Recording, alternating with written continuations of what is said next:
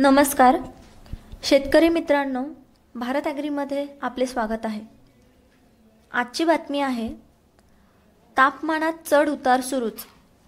अरबी समुद्रावरून वाहणारे जोरदार वारे ढगाळ हवामान यामुळे कमाल व किमान तापमानात चढ उतार सुरूच आहेत.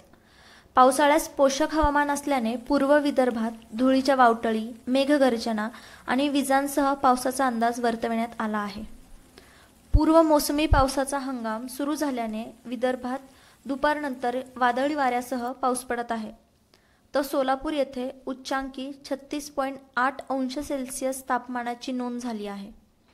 उत्तर कोकणातील डहाणू मध्य महाराष्ट्रातील नाशिक निफाड महाबळेश्वर येथे कमाल तापमान तीस अंशाच्या खाली आहे.